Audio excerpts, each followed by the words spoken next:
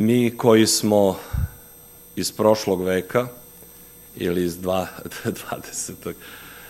A, sećamo se dobro da u našim crkvama smo imali molitve na bogosluženje sredom, petkom, subota je bila uvek tu i prepodne i popodne.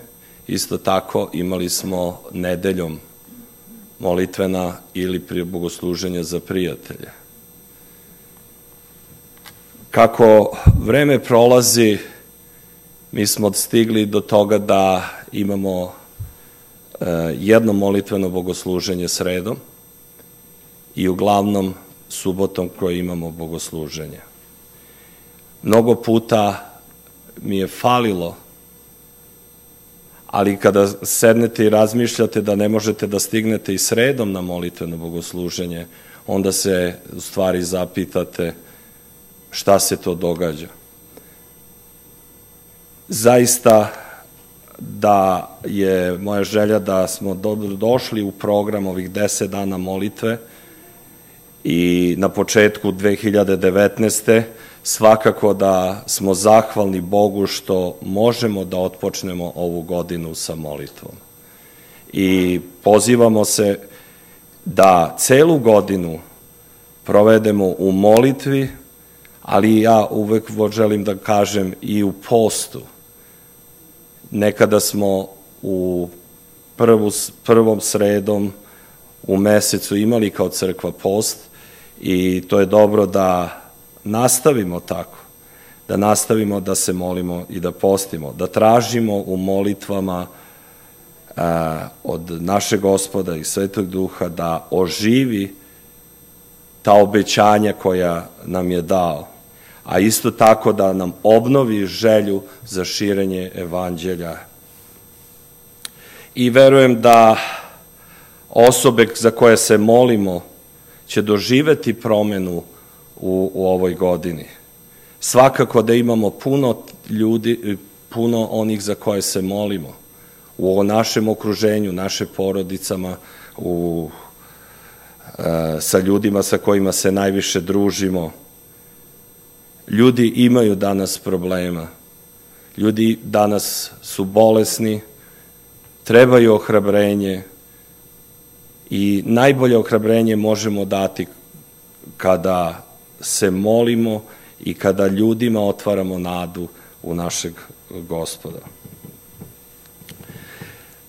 U toku ovih deset dana molitve koje su bile, mi smo imali, e, malo pre sam spomenuo, u svakog večeri, ali je bilo u drugoj crkvi, ali uh, ja vas pozivam da nađete ovaj materijal i da ovaj materijal možete go svojih kuća čitati, ali kaže da, da ovih deset dana molitve E, će nas navesti na razmišljanje o tome kako da steknemo dublje, bogatije hrišćansko iskustvo, bez obzira da li smo novi vernici ili dugogodišnji.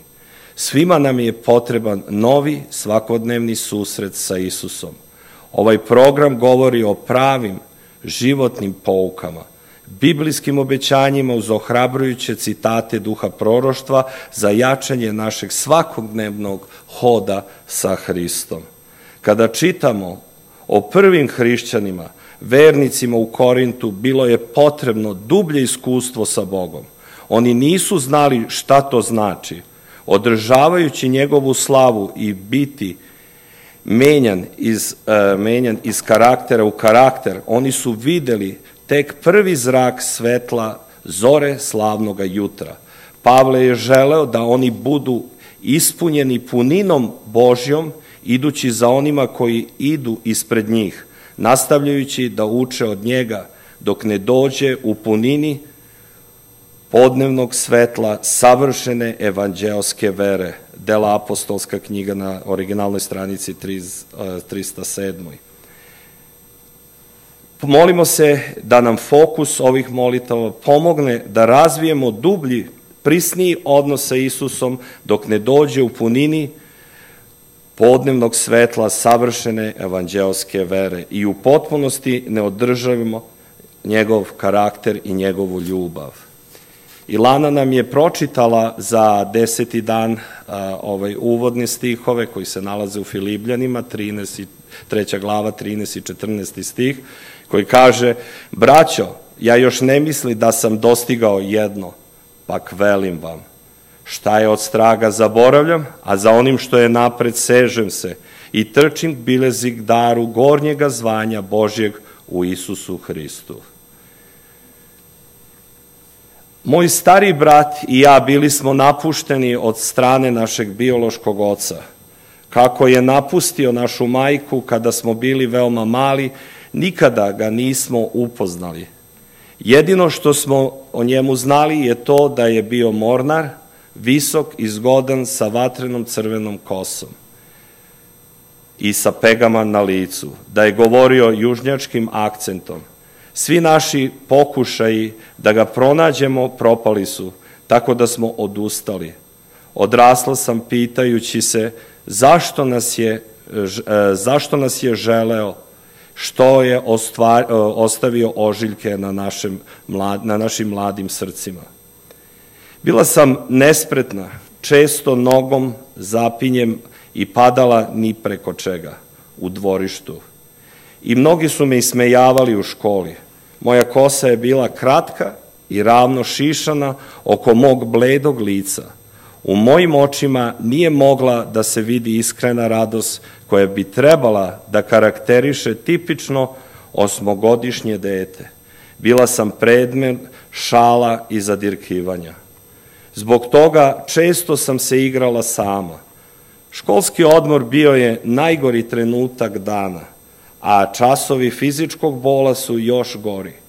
Igrali smo se kickball, poznat kao futbal, bejsbol, što sam mrzela da igram. A igra se sastojala u šutiranju lopte i trčanju oko baza. Deca bi se poređala kapiteni izabrali svoje ekipe. Mene su uvek birali kao poslednju. Timovi bi se postavljali i mene bi e, poslali u najdalji deo terena, jer nisam bila dobra u ovoj igri. Onda bi e, moj tim počeo da viče, vrati se, vrati se, sad je na redu Timi. Timi je uvek udarao loptu veoma jako. Jednom sam tako stajala sa prekrštenim rukama i čula povike, oh glupa divi, lopta dolazi prema tebi, uhvati je. Podigla sam pogled i videla loptu koja ide pravo prema meni. Ispružila sam ruke i uhvatila je. U neverici ostala deca su se erupcijom zadovoljstva uzvikivali, o glupa divi, je uhvatila loptu. U jednom kratkom trenutku bila sam heroj, slavljena od mojih školskih drugara, međutim to je kratko trajalo. Stvari su se vratile u normalu kada, ja, e, kada je došao red na mene da šutnem loptu, što sam i uradila, ali veoma loše, učinivši da moj tim izgubi. Nesigurnost i nisko samopoštovanje ostali su deo moje ličnosti.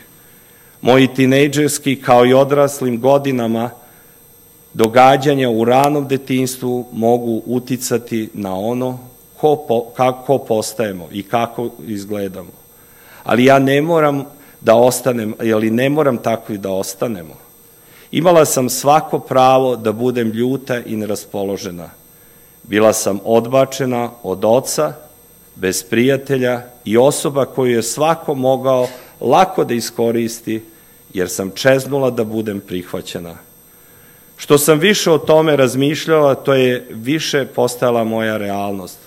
Skupila sam buket trnja. Ako se držite svojih loših iskustava iz prošlosti, onda vremenom postaju gorka i teška. Na kraju počnu da utiču na naše zdravlje. Postajemo li, dakle, robovi svojih osjećanja?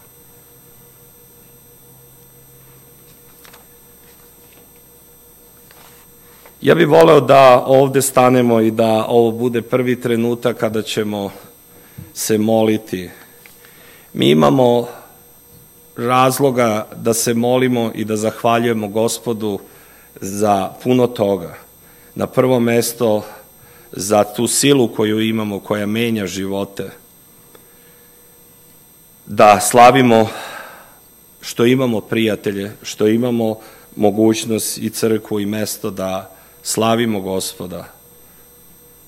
I imamo razlog da se molimo i da zahvaljujemo gospodu što je izabrao baš nas da budemo njegova deca.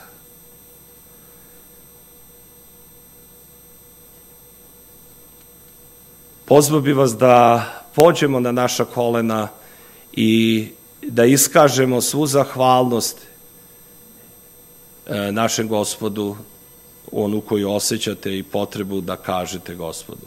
Pozvao bi vas da se molimo više nas u kratkim porukama, u kratkim molitvama. Hajdite da pođemo na naša kolena i da se sada molimo. Kasnije ćemo još jedan put ići.